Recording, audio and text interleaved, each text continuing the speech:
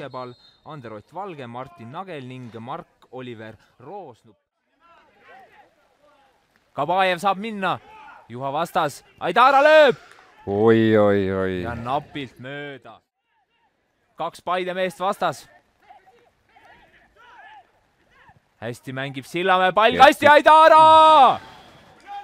teeb nullist ühe, Kassim Aidara lööb juba siin mängu alguses üks-null, väga head senderdus äärelt ja üle küti pea ja käte see pall lendas ja polnudki seal Aidaral muud teha, kui lihtsalt pall väravasse lüüa ja Sillamäe tahab Paidelt ka tabeli seest libiseda.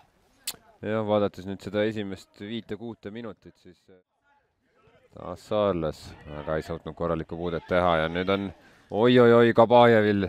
hea tõrje Gert oi, nüüd Kütil. Gert Kütt. selgeks teha. Savaikol aga Nii, võimalus ja napilt mööda. ei olnud siin viga ja kohtunik ei vilista ka ja Lillander nüüd.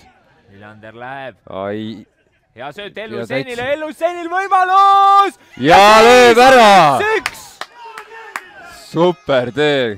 pean tunnistama, et esialgu tundus, et Lillanderil natuke ebaõnnestus see sööt, aga ei, super. väga hästi Sahavaiko talle jättis ja Ellu Seni täiest südamest alla nurka ja seis on üks-üks, kui mängitud on kakskümmend üheksa minutit ja kõik algas see siit ääre pealt, kui Solovjov sai natuke haiget ja nõud-. Paponov, ka see.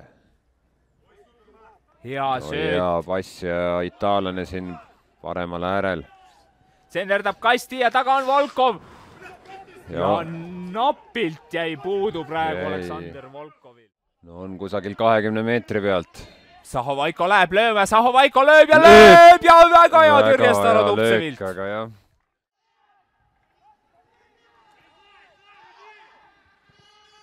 Paponov saab hästi palli ja läheb ise oi-oi-oi, Et no Viltrik Abbassin ja mis natukene liiga vara lasi ennast. ja läheb ikka veel ja pall on vaba ja Kassim Aidara lööb kaks-üks oma teise värava täna ning Sillamäe läheb taas juhtima. oi-oi-oi, no algas juba sealt, kui Novopassin liiga kergesti läks siin vette lõk-, vette ohvriks ja tõmbas ainult külje maha, noh.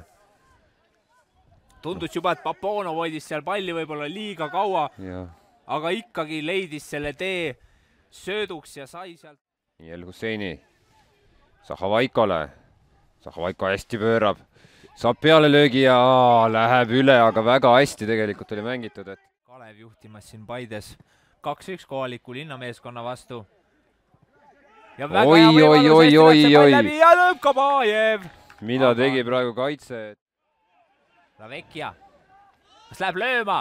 senderdab. ohtlikult, oi., oi, oi, oi, oi.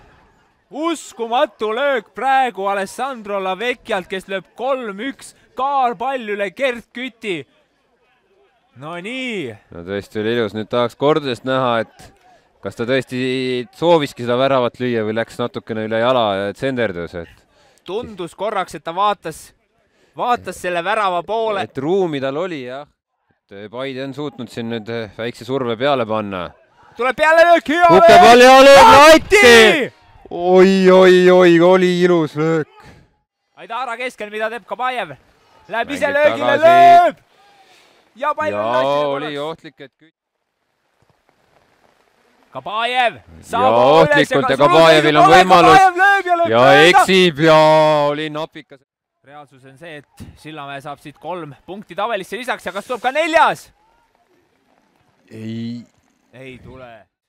Ja Siim Rinkenils viles uus ja mäng on läbi. Sillamäe Kalev on võitnud siin Paides Paide linnameeskonda tulemusega kolm-üks